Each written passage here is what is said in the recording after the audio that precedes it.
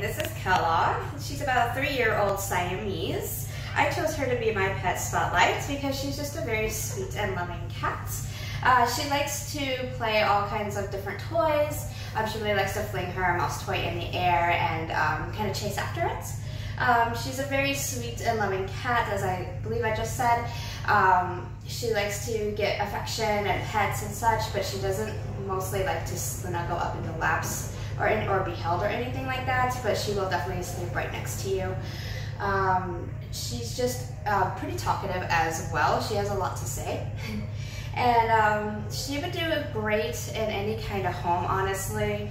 Um, she's pretty adjustable to any kind of environment, so I think Kellogg would just be perfect for anybody.